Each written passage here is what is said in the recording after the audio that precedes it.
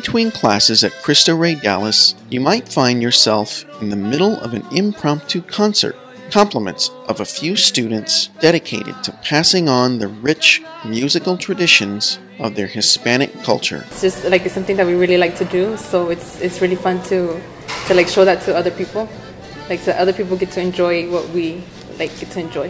Eh, it's really important for me because um, my culture, uh, they are mostly all uh, listen to Tejano music, and I've always brought that with me. Like I always listen to that type of music. The way I uh, I represent like my uh, culture is by playing songs that I really like the songs that my grandpa used to play.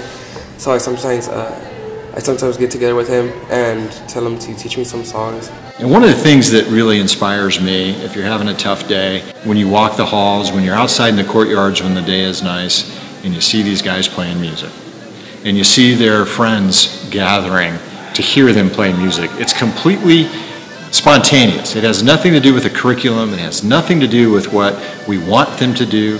It's because that's the culture they're bringing to us. A culture and tradition the students hope to pass on. I could see like how it goes down the line. Uh, first it was my grandpa, then it was my uncle, then it was me, and hopefully then it's my children and so on. For the Texas Catholic, I'm Seth Gonzalez.